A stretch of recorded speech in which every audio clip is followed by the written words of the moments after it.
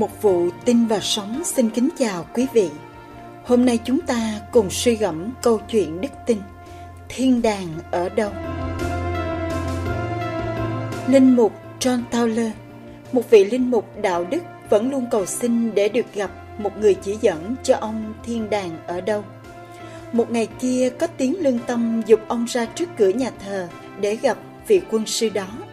Nhìn trước nhìn sau chẳng thấy ai ngoại trừ một người ăn mày quần áo rách rưới, mặt mũi bẩn thỉu, hôi thối. Vị linh mục đến gần và chào người hành khất. Chào ông, chúc ông may mắn. Người ăn mày thản nhiên trả lời. Chào linh mục, tôi có bị rủi ro bao giờ đâu. Vậy thì xin Thiên Chúa ban cho ông mọi điều sung sướng. Ồ, thưa linh mục, đời tôi chưa bao giờ thấy khổ cả. Vị linh mục Towler rất ngạc nhiên về cách nói của người ăn mày. Ông hỏi tiếp, nếu Chúa bắt ông xuống hỏa ngục, ông có buồn khổ không? Người hành khất trả lời không cần suy nghĩ. Nếu Chúa làm như vậy, thì tôi sẽ ôm ghì lấy Chúa và đưa Chúa xuống hỏa ngục luôn. Tôi thà ở hỏa ngục với Chúa còn hơn ở thiên đàng mà không có Ngài. Vị linh mục càng ngạc nhiên hơn nữa, ông hạch hỏi. Này ông, ông có thể cho tôi biết ông từ đâu tới đây không? Thưa Linh Mục, tôi từ Thiên Chúa mà đến. Nhưng ông tìm thấy Thiên Chúa ở đâu? Ở ngay khúc quẹo, chỗ mà tôi đã từ bỏ mọi của cải vật chất trên đời này.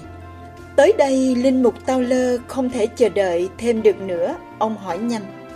Thế thì ông là ai? Người ăn mày nói một cách trịnh trọng. Tôi là vua.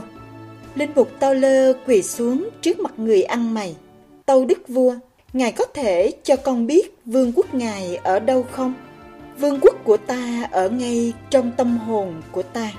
Nhiều lúc trên đời, chúng ta đã mất nhiều thì giờ viễn vông đi tìm bình an hạnh phúc ở những nơi không bao giờ có.